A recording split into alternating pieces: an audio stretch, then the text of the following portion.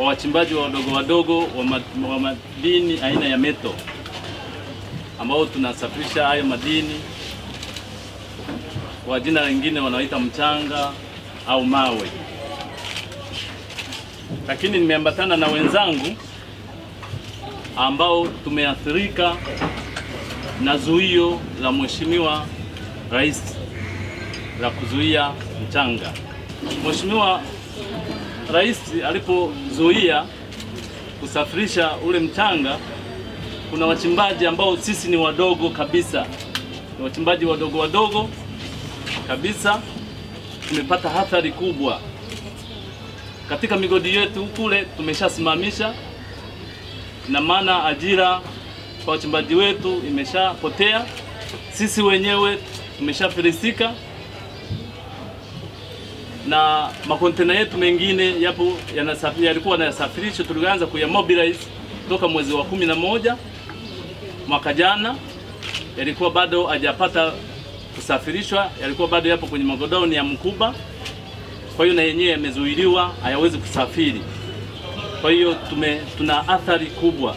Kwa hiyo tulikuwa tuna tumekuwaita hapa waandishi wa, wa, wa habari kusudi tupaze sauti, Mheshimiwa Rais aelewe kwamba pamoja na kwamba wakubwa wamezuiliwa, lakini kuna ambao ni wadogo kabisa ambao tulikuwa tunahangaika na vile vile ile tamko lake limetuathiri. Tunaomba Mheshimiwa Rais kwanza atuondolee lile zuio la kusafirisha madini yetu,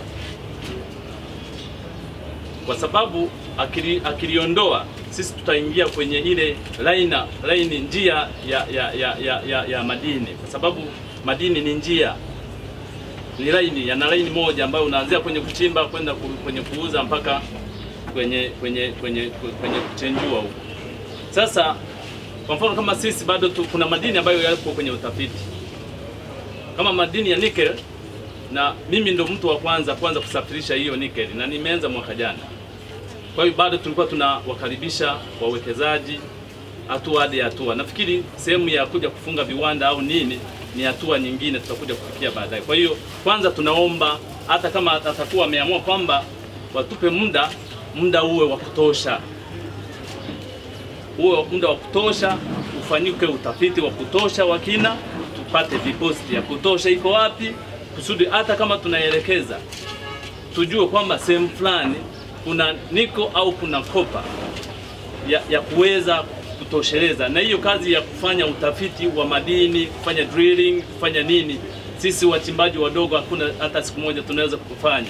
Hiyo ni kazi ya serikali, ifanye utafiti, ituelekeze kwamba sehemu fulani kuna madini ya kutosha kufunga kiwanda, na sisi tuende pale tuanze kumobilize hizo nani resources za kuweza kuingia pale. Sisi tuna mlezi wetu ambayo ni STAMICO. STAMICO ndo baba yetu, ndo, ndo, ndo mlezi wetu kiserikali, lakini mpaka sasa hivi hata ukisikia ripoti wenyewe wenyewe wamekwama, baada hawajaweza kufika kiwango cha kufanya concentrate au kufanya kufanya kufanya kufunga simenti.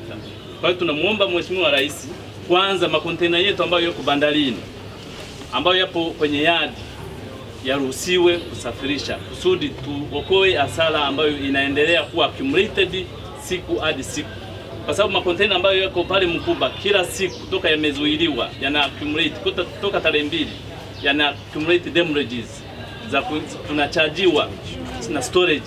Iliwa pale ziko kontena 60 hizo 60 ni za nickel. Na tuna kontena saba ni za copper. Hizo ambazo ziko zimeshikiliwa pale, lakini tuna ah, kila siku kontena moja ina inachajiwa storage shilingi dola elfu ishirini. Dola ishi- dola ishirini ya. Sasa hasara ambayo tumeingia ya, yani hiyo ni lazima tupate calculation kwa sababu unaposimamisha mgodi siku moja. Siku moja, kwa mfano mimi nikisimamisha mgodi wa kwangu siku moja naingia kwenye hasara ya milioni nne.